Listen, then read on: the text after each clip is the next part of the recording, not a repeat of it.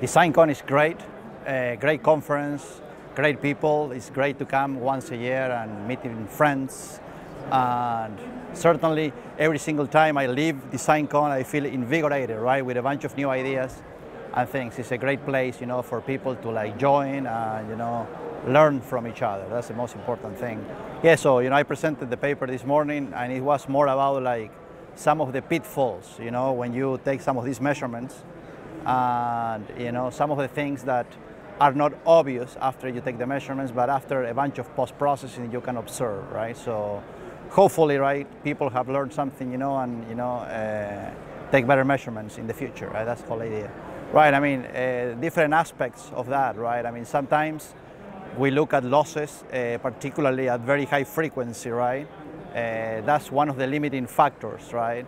Uh, to be able, you know, to accomplish transmission from driver to receiver, right?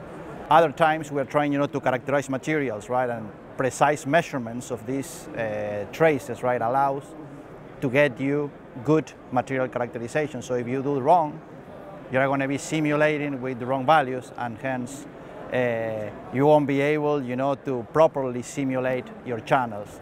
And, you know, could lead to problems, you know, in the, in the real operation of the channel. So I think it's very important, you know, to measure properly uh, because that's the way that you gain understanding, right? By measuring, simulating, and, correlate, and correlating, right? Uh, and particularly at high frequencies, right? This is extremely important uh, to be able, you know, to accomplish uh, high data rates. So, you know, there are a bunch of different ways that we've characterized materials over the past years, right? But basically the, the parameters, let's start with the parameters, you know, that we should characterize, every signal integrity engineer should characterize are basically like the dielectric material properties, dielectric uh, loss tangent versus frequency, right? Copper uh, uh, losses, right? Skin effect, DC losses, and all those things, right? Cross sections of the board, you know, to get a, a, an idea of like the, the stack ups, right? And all those things are going to basically be the number one uh, factor, right, for the losses of your transmission lines, right? And very important for simulations in terms of causality, passivity, and things like that, right? I mean, many people know how to do these characterizations, but also, you know, when you have good models, you can use them as a black box, right? So no, not everybody needs to definitely know all the ins and outs, right? Sure. Uh, the way that we like to characterize materials rather than characterize just like the dielectrics, right? We want to characterize the press stack such we can see everything together, right? And that's why rather than uh, characterizing every element individually, we characterize and we measure the transmission line as it's supposed to be. And that's kind of like a probably like a little bit of the difference, right? Right, so you have like the coupling between the differential pair, right? Yeah. And the coupling is, uh, you know, on a differential pair is rather low as compared, for example, like the twinax, right? I mean, it's like the 5%, you know, range, 3 to 5% range, right? The big thing is like how do you minimize the coupling to different differential pairs, right? And how do you control the impedances within the differential pair, right?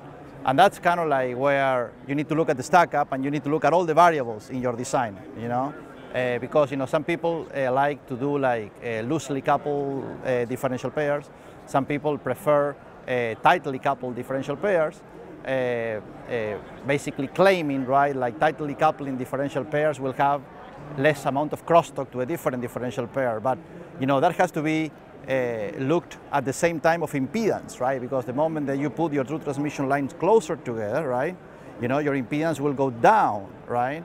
So if you want your impedance to come up, you have to lift the planes. The moment you start lifting the planes, right, now you have more crosstalk to your, uh, your differential pair. So there is always kind of like a sweet spot, right, that you have to analyze. And in order to analyze crosstalk, you can not only do it, right, just by looking at the crosstalk, you have to look at your whole channel, right? You have to look at the losses, right? Perhaps you have a situation where you need uh, to tightly pack a lot of uh, differential lines, right? And by doing that, you can shorter your length, right? By like two or three inches, you know? So in which case it might be okay, right? To sustain a little bit more crosstalk because, you know, you are reducing your length, right? So it's, you know, the crosstalk and the stack up it has to be seen, in my opinion, right? More in, as a holistic view, you know, of the whole uh, loss uh, margins that you have in your in your design. I would say like somewhere in between is kind of like a good a good compromise solution, right? It's really a ratio of the separation between the differential pairs with respect to the separation to the planes, right? So that's kind of like the ratio that you have to be looking at, right? I mean, you will see sometimes, you know, people cannot have too many layers in the board, right? And they have asymmetrical stack-ups where they put like the differential traces really close to one plane and the other plane really far away because sometimes they have to cross and split or things like that, right? So it's really like the ratio to the closest plane, right? Uh, because you can imagine as two impedances in parallel, right, from the bottom plane and to the top plane, right? So that's, that's the problem, right? When you go from one layer to the next, you have you need a via, right? I mean, unfortunately, you need a via, right? Uh, and really, what you know, the way that I think about this, I think about like the return currents more than anything, right? So I need, I want to make sure like my return currents, you know, have like a uniform path to come back, right? So you know, if you can go from one layer to the next, sharing one of the ground planes, for example, from SIG 3 to SIG 5 being SIG 4 like the plane, right? Now, you know, even though you're crossing, right, you're still using like at least one of the references don't change, right? So you facilitate, right, your currents, you know, to return, right? Oftentimes you cannot do that, right? So you have to go deeper into the board or, you know, cross many, many different layers, in which case we try to put vias, right? To like allow the current to come back. The reality is like these vias uh, have two functions, really. Function number one helps you control the impedance of the transition, right, which is very important, right? Uh, because ideally, if you have, let's say, like a 50 ohm or a 100 ohm environment, right, you want to control your trace all the way through so that you have 100 ohms, right? That's, uh, and by putting ground vias, right, you, are, you allow for that to happen, right? Uh, and the second reason is to uh, shield for interference from other circuits, okay? We've seen problems where lower frequency circuits, right, uh, gets into our differential pairs. having a ground via right next to the differential pair will completely reduce the amount of crosstalk coming from mid-frequency signals. You know, we see that with like power supplies, for example. You know, sometimes it's not easy to put ground vias everywhere, right? And the way that we like to put ground vias is on the outside of the differential pair because really when you look at this differential signal, right, most of the energy is contained between the differential pair, right? And that signal kind of like goes nicely. One of the signals is the reference on the other. The problem is like the common mode signals. The common mode signals tend to spread away, right? And that's what is crosstalking other signals. By putting ground vias outside where the common mode will go, you are catching those currents, right? And you are improving the isolation to other differential pairs or crosstalk to other circuits. So there are two things for the vias, right? One of the things for the via, as I mentioned, is the impedance of the via, right? And the other thing is like the stub of the via, right? I mean, sometimes when you're doing like uh, economical designs, you don't want to back drill your bores, right? I mean, so the stub will generate like a big dip, which is a quarter resonance of that stub, right? So the longer that stub is, the lower the frequency of the resonance it is, right? So you want to make sure you try to minimize that for higher frequencies, right? Now, uh, that's a, a, a, a first order effect type of a situation, right? Like a little bit of a second order effect that you will see very clearly on the S parameters is the impedance of the via itself, right? Uh, you will see like on the S parameters, when the impedance of the via changes, right? You will see like very flat profile and then going into the deep, or you will see as the impedance of, of the impedance of the via uh, is smaller, that flat profile will dip a little bit more, right? So, you know, there is kind of like a profile on the S parameters before you get to the deep, and the location of the dip that is going to impact dramatically your, uh, you know, your, your insertion loss, right? So you definitely don't want to have uh, big stubs. You want you want the, those stubs to be minimized as much as possible. And with back drilling technologies these days, right, you can do that rather easily, right? You want to sometimes remove the pads. The pads by itself, without back drilling the via, is a big capacitance, you know, to like the first plane, and that by itself generates a big uh, capacitive uh, stub that would create a dip uh, at a lower frequency. So just sometimes by removing the pad by itself, you can improve dramatically, right, your channel. Right? It will depend on the frequency that you're running, right? If you're running a signal at like 100 megahertz, you won't even see right the via. The via is not even, is related to the, the wavelength of the signal that you're sending through the circuit, right? Now, if you're sending a signal that is like 20 picoseconds long, Now suddenly uh, 150 mil via, right, is like, you know, uh, almost like 30 picoseconds of, of, of delay or something, right? I mean, so it's in the order of magnitude of the signal that you're sending, right? So that is the problem. It's not related so much to the length of your channel, but rather, you know, to the frequency content of the signal that you're sending. If you can create a via, so we, when we look at vias, we look at vias, you know, with stop, without stop. If you can create a via without stop, and you can ba basically match the impedance on the via, right, such the via is transparent, right, it won't be an issue. It just won't be an issue, right?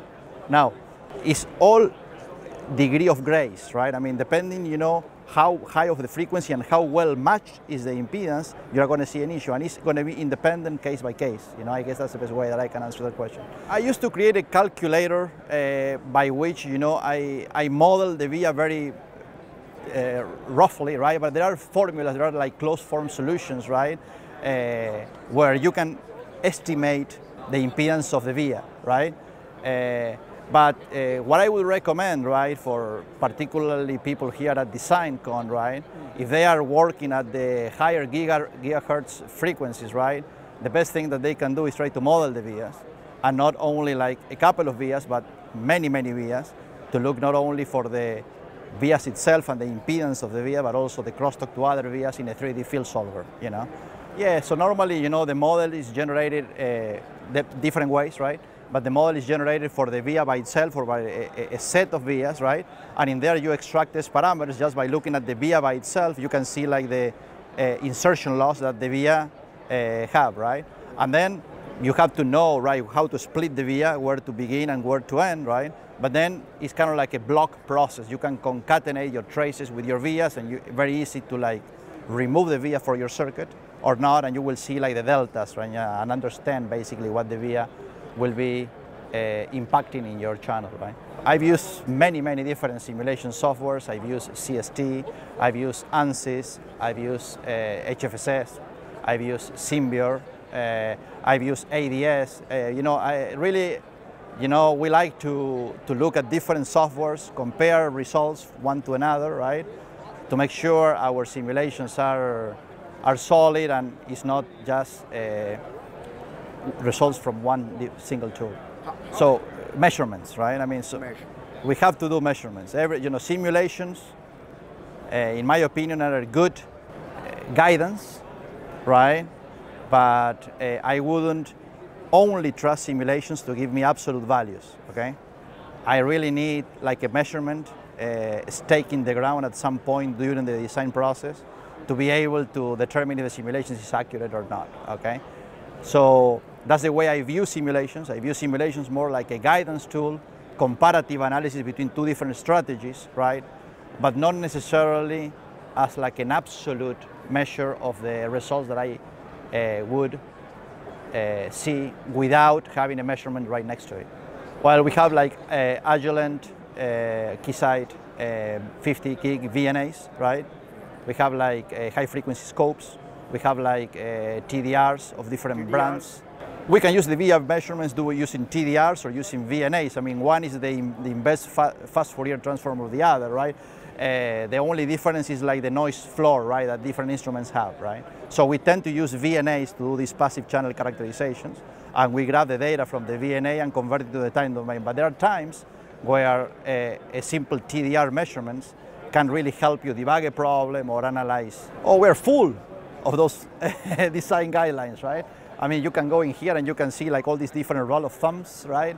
And all these different things that, you know, that people talk and those comes from measurements and from experience and sometimes, you know, people agree with those rule of thumbs. Sometimes people disagree, you know. Sometimes there are little times where the rule of thumbs cannot be really applied. So it's not so much about the rule of thumbs. It's really about like the knowledge to apply those rule of thumbs when they should be applied, right? I mean, so is a, a great opportunity for me to really uh, present some of the work that we are doing, but mostly to learn, you know, from other people and to invigorate myself and the team uh, to create new work moving forward in terms of research. I would encourage them to basically go to as many presentations as, as they can, right? I would encourage them to be extremely curious and humble, right? And try to learn as much as possible from the expert, right? I mean, I think that's very, very, very important. Uh, and that would be my advice to them.